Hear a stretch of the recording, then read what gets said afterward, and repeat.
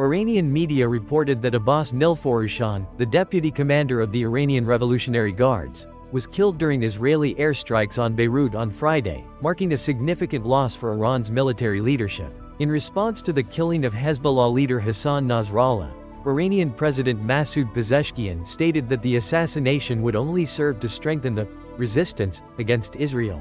He also implicated the U.S. in the attack, suggesting that the order for the strike was connected to Israeli Prime Minister Benjamin Netanyahu's UN General Assembly address in New York. The Amal movement, a key political ally of Hezbollah in Lebanon, also condemned Nasrallah's killing, pledging continued support for the resistance against Israeli terrorism. Amal's leadership praised Nasrallah's legacy, emphasizing that his death would not weaken their resolve but instead bolster their determination to defend Lebanon and resist Israeli aggression.